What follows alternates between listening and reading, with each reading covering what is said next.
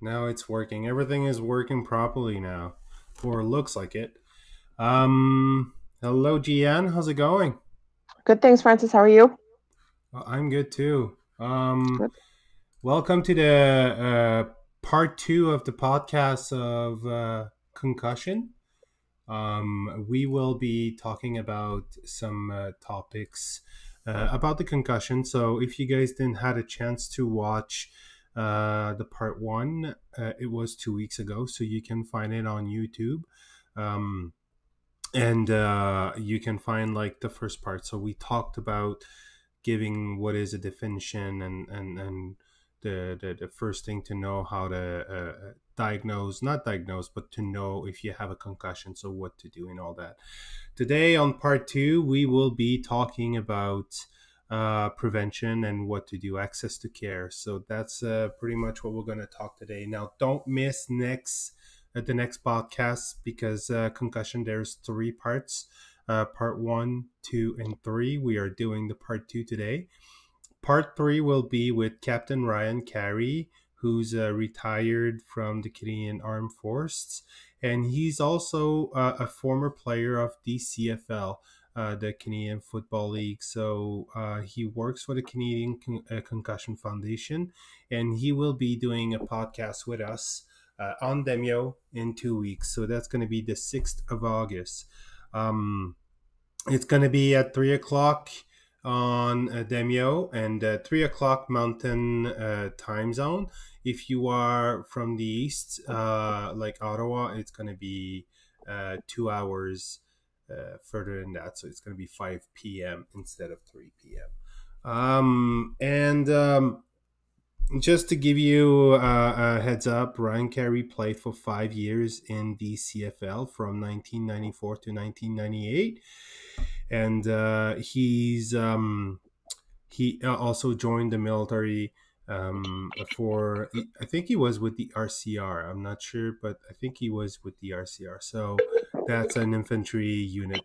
Um, with he was an officer so obviously so he will talk a lot about uh, concussion with sports athletes and also the military so it, it looks pretty much a really exciting uh, podcast so guys don't miss that uh, just register on demio uh, to uh, participate live obviously if you cannot be here on demio uh, that's not a problem we're just going to be putting the podcast right after on youtube so you can watch it later if you can't make it at three uh, uh, three o'clock Alberta time or five uh, five o'clock Eastern time. So that's uh, that's the promo for the next podcast. Um, and um, this week uh, it's part two on concussion. Concussion. So as we mentioned two weeks ago in part one. A concussion is a type of traumatic brain injury, so you will probably also uh, hear a lot of TBI. Um, we need to keep in mind that the brain is the most complex part of, of, of the body. Uh, since it's surrounded by a bony shell and a protective fluid, uh, the brain is well protected. Uh, but it's also the most fragile organ in the body. The makeup of the brain uh, makes it vulnerable in some situation. For instance, when uh, when your head is shaken rapidly or aggressively, like a whiplash, the brain will be compressed inside the cranial cavity because it has nowhere else to go. This is why a whiplash or blasts uh, may cause a, a, TBI. And we're going to be using TBI uh, in this podcast just to make it shorter. Um, so if the com- the impact is high, the brain may have a contusion similar to a bruise, which will create swelling um, also. So, the problem with uh, the brain when uh, there's swelling, since it's inside the cranial or the skull, um, the brain wants to expand and it cannot expand because there's nowhere else to go. And it, it's just going to compress itself and it's going to compress its blood supply itself. So that's why it's a very complex uh, situation, and you want to uh, prevent that from happening when you do have some swelling or even internal bleeding in your brain. Um, although this sounds very intense, we may not see any clear physical change from before to after the impact on the person. So this is why it's very important to see uh, when you you you suspect that you have a concussion to not play with it or saying that you're okay. Uh, it's it's always good to uh, go to the hospital. But for example, if you're in a car accident, the EMT will automatically think that you do have a concussion, and they will do the necessary procedure to take uh, to take you to the hospital for further testing. So uh, it did happen to my life. I did had a car accident, and um, the the EMT when they arrived, they put me in a cocoon. Uh, so it's a big balloon that will envelope you to uh, prevent you from moving. Uh, uh, because obviously they don't know if you do have a spinal injury. And uh, when they brought me to the hospital, they checked everything. They checked my brain if they if I did had a concussion. So that's an automatic response from them. Um, um, also, I just want to don't miss uh, miss anything that I've uh, said. Uh, but when you're playing sports or even when you're uh, in the military doing a military exercise, we don't always think uh, the same way as a health professional. So we might be uh, thinking that we do have a, a concussion or not, and uh, we just like gonna take a Tylenol or even like uh, just say that we're going to go for sleep and uh, just do a nap and probably everything will go away. Um, and that could be our first response on a real concussion, which it's not the optimal thing to do when we do have a concussion. So uh, a TBI or a concussion may continue to deteriorate your brain function for several hours or even days after the accident. I say accident, but sometimes it's not even an accident. Um, a good example would be uh, when you're uh, shooting a big rifle, um, like a, a, a Gustaf. Uh, in the military, so that's like a really big bazooka, an anti-tank rifle. Uh, the shockwave that this creates might create a TBI, and you will feel fine before or even after uh, you've shot a couple bullets. So it's not an accident but you have to consider these kind of stuff as a potential uh, TBI. Um, so, because the brain is made of tissue and a different uh, of different densities, during the impact, this uh, these tissue move at a different rate, which will make them shear and compress uh, each other, creating a minor damage. The brain cell or neuron are injured uh, by axonal shearing brain damage can still occur for hours or like i said even days after the initial uh, initial injury. So this is why we want to keep monitoring the injured person to see if the condition is deteriorating. If signs or symptoms are showing up days after the initial injury it's a good idea to see a doctor if you didn't do it already uh, from the start I'll show you a picture. Let me just open that. There you go. Um, I'm really sorry if you uh, are heart sensitive.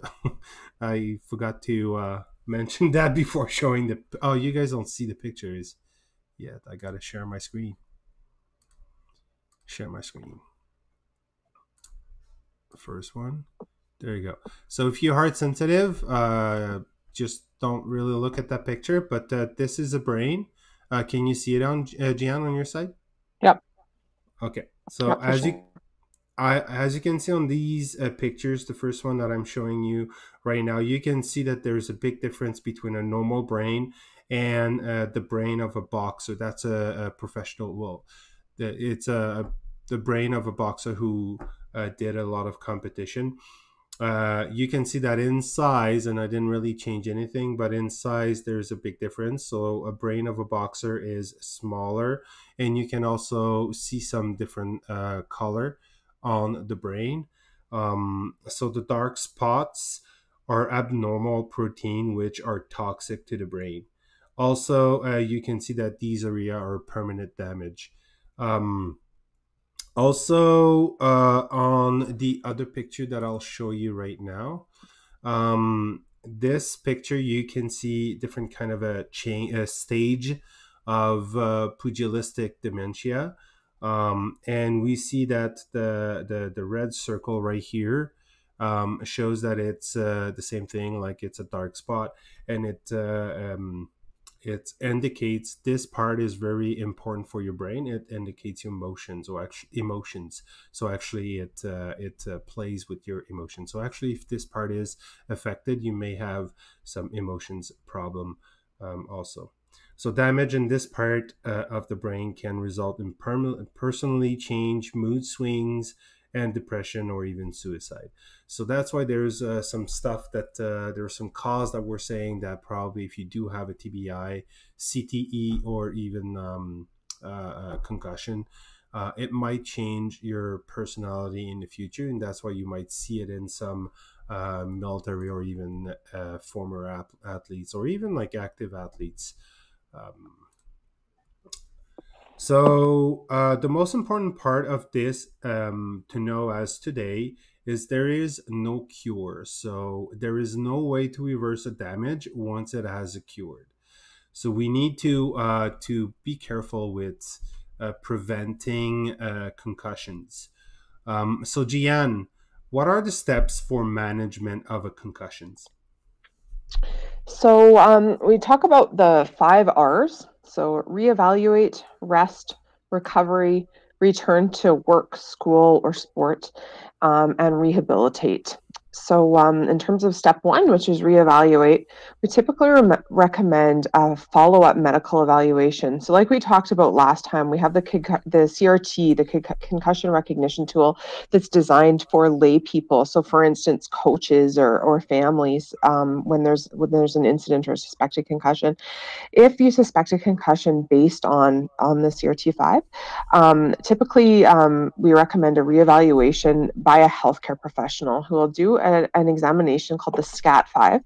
Um, in addition to a clinical exam. So that clinical exam entails um, cognitive testing, as well as the evaluation of coordination, balance, neurological function, and just the symptoms in general. And, and the goal of this um, step of reevaluation is to rule out more serious pathology.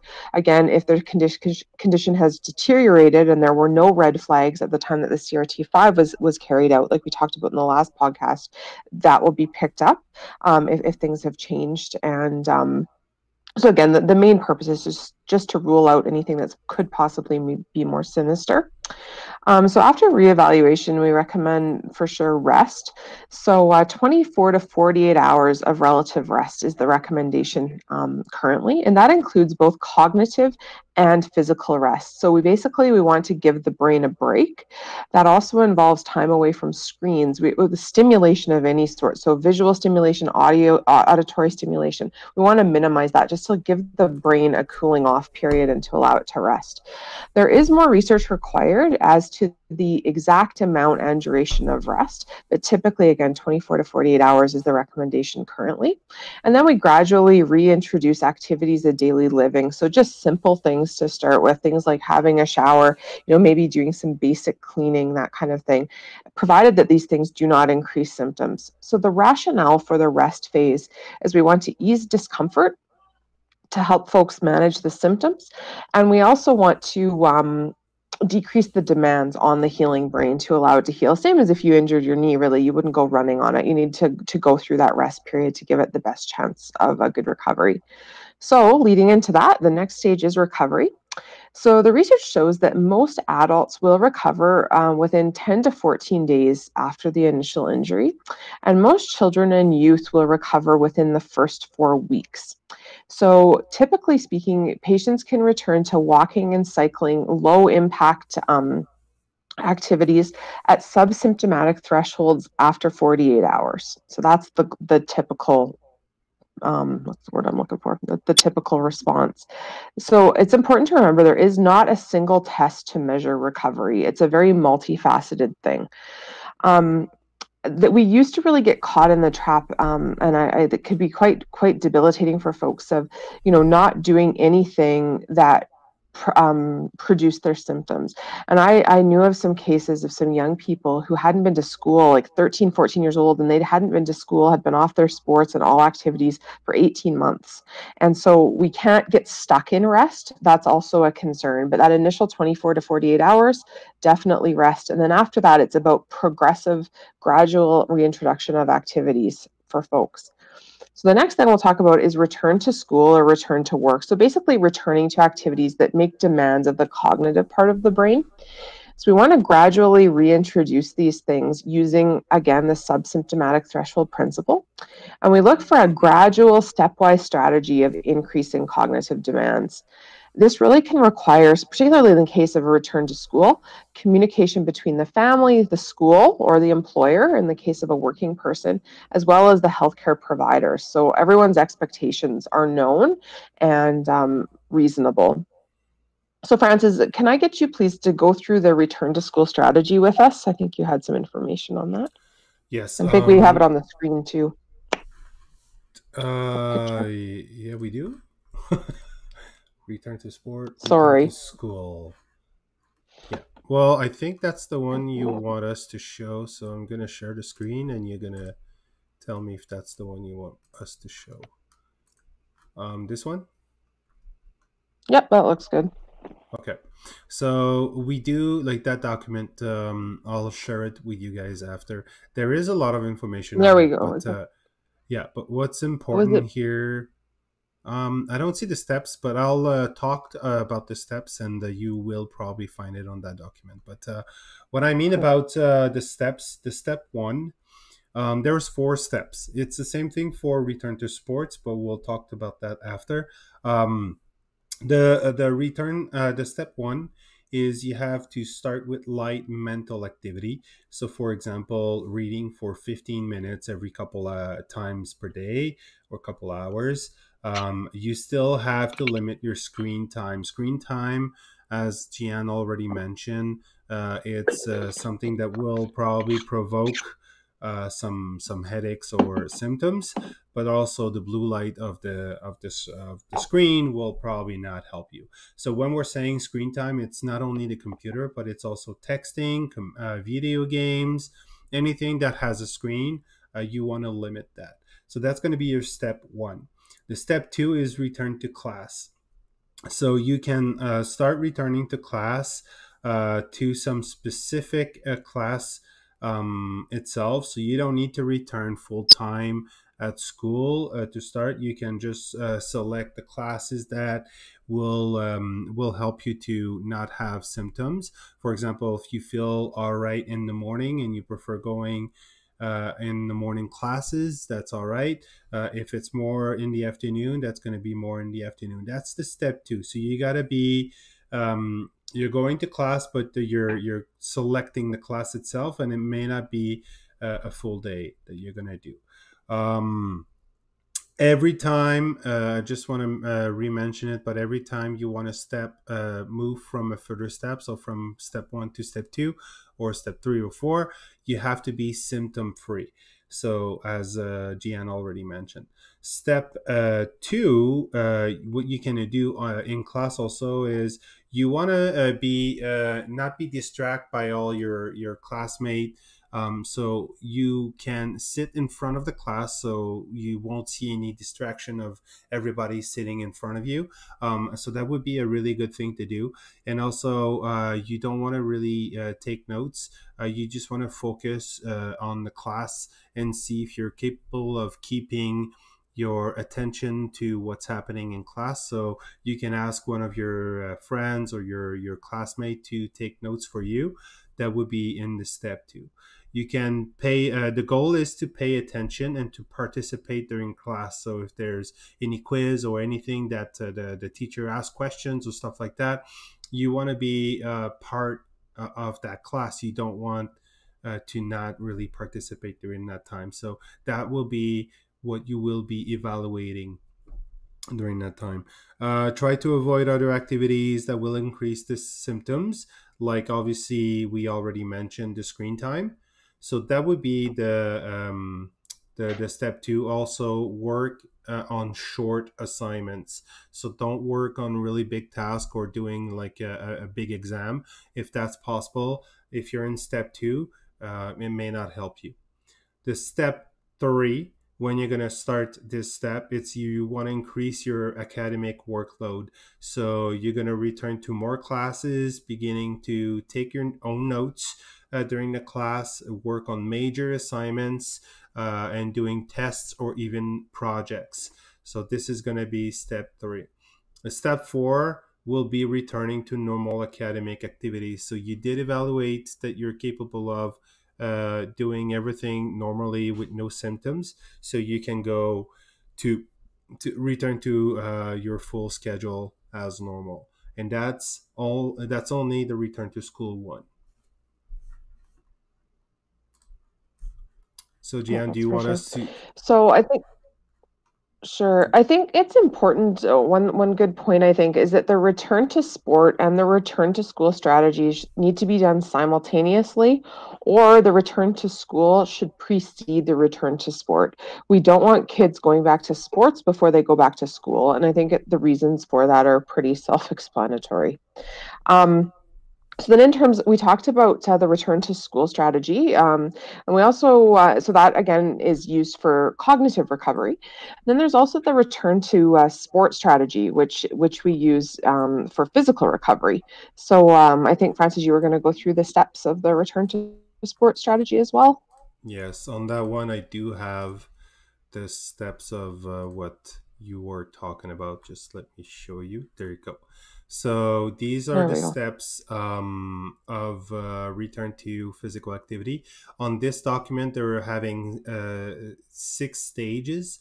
Um, uh, the way I, I talk about it, it's you're gonna see other documents. Like this document is from Parachute Canada. Is it Canada? Um, but it's uh, from the Parachute um, sports itself. So uh, you will see uh, other documents that says three steps or three stages. Uh, four stages sorry not three. And it's basically the same thing. It's only like the first one like for example step one or stage one it's exactly what Je-Anne told you uh, prior of talking uh, of steps or stages. So rest for 24 to 48 hours before doing anything and all that. So they just included these uh, steps before which you will probably not see in other documents.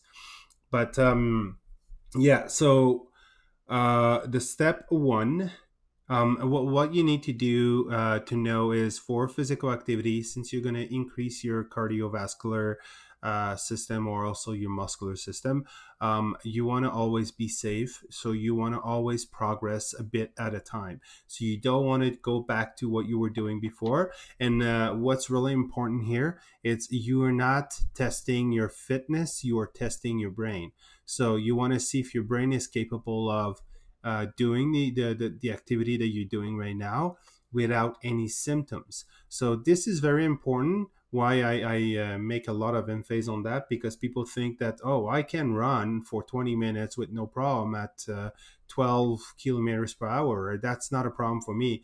Yes, but that's your fitness. That's not your brain. So if you do have a symptom while running, you might put yourself in some uh, risk or uh, another injury. So you want to always be safe. So we're testing the brain. We're not testing your fitness, and not at this time. So um, you can look at the, the the page here, but I'll go with the steps that I have in my notes. So the step one is usually like cardio. On this one, you, it's going to be in step two. Um, and it's, for example, being able to run for a maximum of 20 minutes. Um, and that's that's pretty much what what it is for step one. So like cardio, that's pretty much, and do it on the safe zone. So a good thing is don't do it on the treadmill, because if you do have dizziness and you're running on a treadmill, uh, the treadmill will not know that you're having dizziness and you're not feeling well, and uh, you may not be able to stop the treadmill. So he will just continue rolling and with no problem, and it might uh, put you into uh, uh, an injury situation. I'm not saying it's at risk. I'm just saying like if you don't feel comfortable with a treadmill, I would not recommend you to uh, to focus on the treadmill. Um, just run outside. That's good because you can stop at any time and uh, that that can be a good way to evaluate your uh, cardio, your stage one. The stage two usually is sports specific drills. So for a duration of 30 to 40 minutes. Um, and in this part, for example, if you're playing football or hockey or these kind of contact sports, there is no contact. So you uh, no contact at all, no body check, nothing uh, during the stage two. So actually, athletes shouldn't be doing the drills with the team also they should be uh, doing the drills separately because, like we said, uh, you're not evaluating uh, evaluating your capacity capacity of doing the drill with the team. You're evaluating your brain if you do have symptoms during these drills. So the good thing is to do drills that you're uh, comfortable with that you uh, you've done. Not do new drills. You can, but uh, it might create some uh, some headaches during that time. So if uh, you're having new stuff it will activate your brain and if you're doing some stuff that you're used to you may uh, be just do, doing it as an automatic thing and it will probably uh, less solicitate your brain. So you just want to uh, this is what you want to do in uh, the stage two. So keep in mind there is no contact during this stage. Stage three is um, the return to full practice with the team. So this is when you're going to return. Uh, uh, if I take, for example, hockey, uh, if you play with a hockey team, you want to return with the team, doing some drills with the team in a full practice if it's possible. During that practice or during the that stage, you will wear a penny. Uh, usually, they're going to put a red penny over your jersey, um, and that will apply to every sports because you have uh, the restriction of having no contact. So you just want to go with the team and see if you're capable of keeping the practice, the level of intensity, and if there's new drills, new stuff, that's all right too. Um, you want to evaluate the capacity of, of following this practice with no symptoms, but you still have no uh, no contact. So a red penny is always good. It's not for you, it's more for your teammates because when you're doing a drill, sometimes they will forget that you're recovering from a concussion and uh, they will probably do a body check or something like that in the practice. So they want to be safe and not create anything like this. The step four will be um, the the time that you you will release the the penny. So you will not wear any penny. You will be dressed uh, exactly like your teammates, and you will do a normal practice with the teammates. So this is where you have you will have no restrictions um, during this uh, this stage. Uh, so on this port uh, this uh, document here, you're going to be at stage five. So full contact practice following clearance by a doctor. That's always good to always have a follow up. And obviously, if you do have a diagnostic from a doctor, they will uh, need a follow up anyway. So that um, that's a good thing to uh, to follow. So that would be the stage four. Um, yeah. So Je-Anne, anything to add? So I just thought we could do like a summary. So basically, return to sport strategy, it's gradual and stepwise. Um, each step takes 24 hours because we want to see if there is a delayed return of symptoms. So if you do really, really well, phase two, you don't go on to phase three at the end of the same practice. You have to wait 24 hours before you can go on to the next step. Um, it should take, as because we are putting 24 hours at each step, it should take a minimum of one week to complete the return to sport strategy. So if everything's going well, best case scenario is you're back in action full stop in a week. That would be the minimum. Um, if symptoms recur, we advise people to take a step back to the previous step. And it's also important to remember that medical clearance is required prior to step five or reintroduction of activities that put players at risk of concussion. So the contact portion of their activity. So, Francis, as an athlete yourself and an exercise physiologist, and I know you have a lot of experience working with teams, do you have any other return to sport strategies for people who have suffered concussions? Yeah, there's one thing that um, the documents will not show and uh, will probably not mention. It's the uh, return to competition. So we're not talking about return to sports, but more return to competition. So that's one thing that it's um, uh, that I can give more de- uh, details on that. Um, there is a big difference between a competition and a practice. So when you do practice with your teammates uh, during a practice, you will probably not see um, the level of intensity that you will probably normally see when you're gonna uh, uh, have a competition. So when you have an adversity, another team who wants to uh, to basically um, compete against you, they will probably uh, elevate the intensity to a level that you will probably have some symptoms or have a recurrence of your uh, injury. So, what you want to do is also as a coach or as a teammate, uh, as a player, sorry, when you return to competition, if your coach is not playing you, uh, if I take, for example, hockey again, and you're forward, um, if uh, they like you're usually you're used to play 25 minutes to 30 minutes per game um, of ice time they might reduce it to probably 10 minutes to 15 minutes per game of ice time. And this is uh, typically normal because they want to know they want to see if the competition level doesn't have or do, does not create any symptoms. Um, and this is very important. Um, so this is also a, a, progression. So you have to keep uh, progress yourself like go bit by bit uh, during the game because you want to have a return to a safe zone while uh, competing against other people. Now, I know some people may not like what we're saying right now because they want to return as fast as possible to the competition, and uh, sometimes a concussion will occur uh, to a playoff or close to a tournament or something like that or you're going to have some scouts in the stands watching and watching you specifically but this is very important because even if a scout uh, like watch you playing with a concussion that is not fully recovered uh, and you do have some symptoms in, on the ice you're just gonna like end your career uh, faster than you think. So you want to be safe, and uh, if you're a hockey fan, you will probably take Sidney Crosby as a good example. Um, but obviously, he was like a really good guy, a good player in the in the junior. Everybody knew him before even he was drafted. But the main goal here is uh, he did t- took a year off uh, of season just to fix his concussion and come back fully healthy and uh, even if his team depended on him. So that's a good example for if you're a goaltender. It might be different because obviously you're gonna uh, goaltend a full game, uh, but you're gonna work period by period. So if you do a first period, you don't have any symptoms and you're feeling great, well, that's good. You tell it to the coach, to your head coach, and then the head coach will keep you in the net for the second period. And if you do have some symptoms during the second period, um, well, you will uh, sit for the third one. So it's a way to be progressive and make sure that you're 100% ready for the competition level, not the sports itself, because you did evaluate yourself uh, for uh, the, the sport, but not the competition.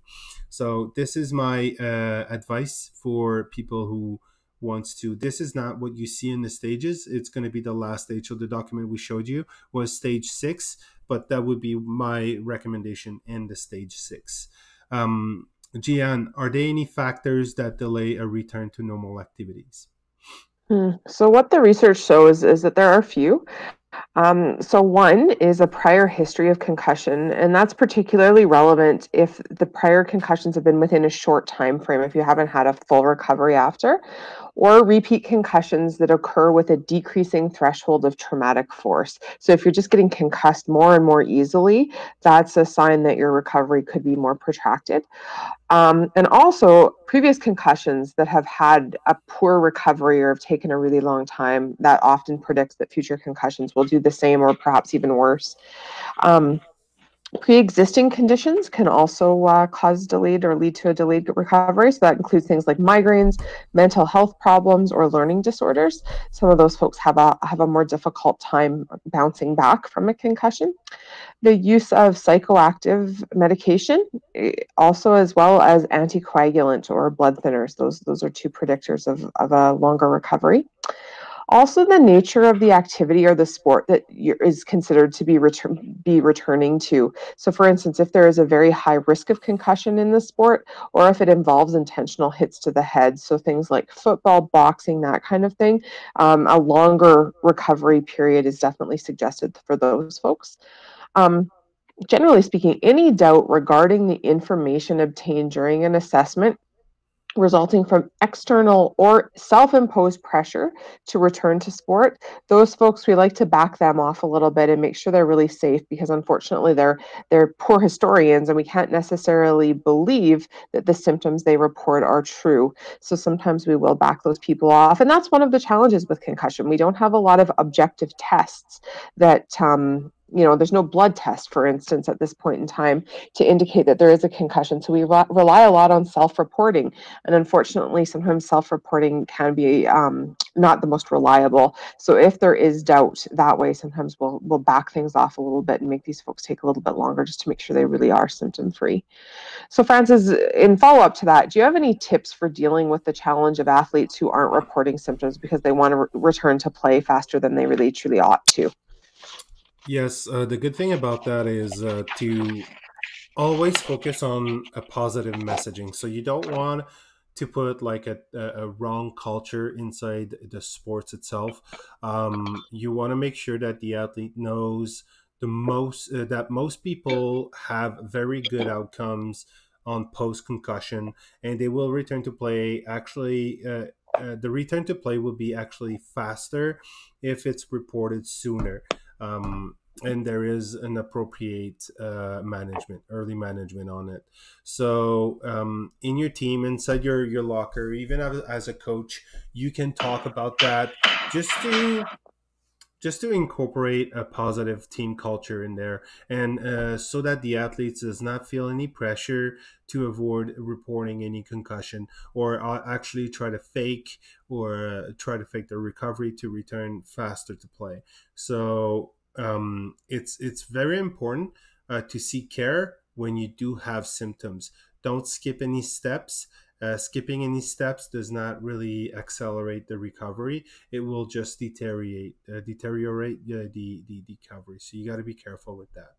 So Je-Anne, we said earlier that most adults uh, recover uh, in the initial 10 to 14 days, and most children in the initial four weeks. What about those who don't? So yeah, that's for sure a good point. So 20 to 30 percent of concussion sufferers um, will have persist- persistent symptoms post concussion. So that doesn't mean forever, but it certainly means beyond those timeframes, beyond the 10 to 14 days for adults and beyond for uh, younger people. So what the common persistent symptoms tend to be are headache or neck pain. That's one of the, probably the, the major one is headache. Um, fatigue and exercise intolerance is another one. Um, dizziness and balance disturbance. Difficulty with vision, sensitivity to light and noise, uh, difficulty with concentration and remembering, um, anxiety, depression, increased emotional lability, and anger. So again, we can see some personality changes, and that's what Francis was indicating when he was showing those pictures. Um, sleep disturbance is another common one, as well as just kind of generally not feeling right, just people feeling off. So those are the persistent symptoms that 20 to 30% of people are, are left with after concussion. So some of the factors that will predict who these folks are going to be are the severity of the acute and subacute symptoms. So people who have really, really severe symptoms in the acute stage and are really not functioning very well, they tend to uh, to be among that 20 to 30 percent, as well as folks who have headaches and depression in the subacute phase. They tend to have a, a challenge, more challenging recovery. Um, also, a history of mental health problems uh, predating the concussion can also preclude those individuals to a, a more challenging recovery. So, some of the causes of persistent symptoms are unresolved concussion, but that's not the only one. So, some of the causes, again, can be that the concussion still needs, the, the individual still needs to recover from the concussion, but there are also individuals with headache syndromes underlying underlying the, the their problems so pre-existing migraine that type of thing if there was a neck injury associated with the concussion um, dysfunction of the vestibular system so that's your balance system um, dysfunction of the autonomic nervous system, sleep disorders, or underlying anxiety or depression. And those people, those, those are the things that cause the persistent symptoms. So it's not always the concussion. Sometimes it, there's associated things that really put a magnifying glass on the concussion symptoms. So in terms of treating these individuals, we have a couple of options, often integrating both is ideal. So we can look at targeted rehab. So that, that would be usually by a physiotherapist, occupational therapist, that type of thing. So, what we're looking at with those programs are symptom limited, low level aerobic exercise, which is gradually progressed. Um, we can also look at individualized physiotherapy, which includes treatment of the neck as well as the vestibular system. So, very commonly, the incident that caused the concussion, whether it's a whiplash or what have you, can also cause musculoskeletal injury. Sometimes it can be very hard to bang the head around without affecting the, the cervical spine.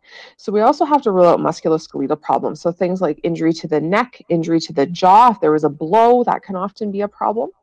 Uh, and those injuries often need to be addressed as well because, interestingly enough, both jaw issues and neck problems can cause dizziness, can cause headache, that kind of thing. So, again, that needs to be ruled out and, and addressed. Um, in order to have adequate balance and coordination, the brain integrates information from our necks, so the position sense of our necks, also our eyes and our inner ears. So all of that information is taken in by the brain and that helps us maintain our balance and equilibrium.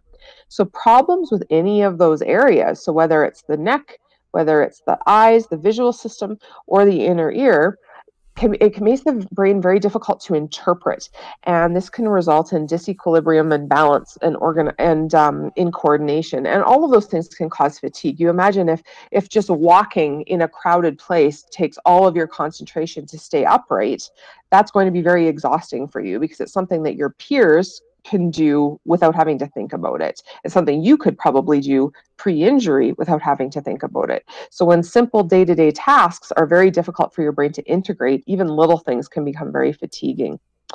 So, in addition to targeted rehab, we also, unfortunately, living rurally as we do in Wainwright, we don't necessarily have these um, things to our, at our disposal, but um, multidisciplinary team approaches to the management of concussion can be very beneficial as well. So in, in these types of situations, we look for a collaborative approach to treatment. So this will involve mental health professionals, physiotherapists, occupational therapists, perhaps even dietitians, medical doctors, nurses, just to do a very multifaceted approach, something very holistic, looking at all of the um, the components um, that have been affected by the by the, the concussion. So the aim of our assessments with these folks when we do a post-concussion ass- assessment is to identify the cause of the on- ongoing symptoms. So like I said before, it's not always the concussion. Sometimes there's other stuff going on as well that also needs to be addressed to have the best recovery from the concussion. So as a result of that, the assessment must be really broad and comprehensive. So first of all, we look at um, a musculoskeletal exam of the neck and jaw. So we're looking at movement, we're looking at tenderness, strength, those types of things. Um, we also look, we assess balance. We also look for eye movement and vision. Um, cognitive function, so memory, processing, reaction time, that type of thing. And then again, like I'd said before, we look at a graduated aerobic exercise testing um, for assessment of uh, exercise tolerance. And some of these folks, um, the, the, really more involved people who aren't functioning very well within the timeframes that are expected, they may require formal neuropsych testing. Um, in terms of treatment, um, particularly for post-concussion headache, um, but really most of the symptoms uh, that can linger after concussion.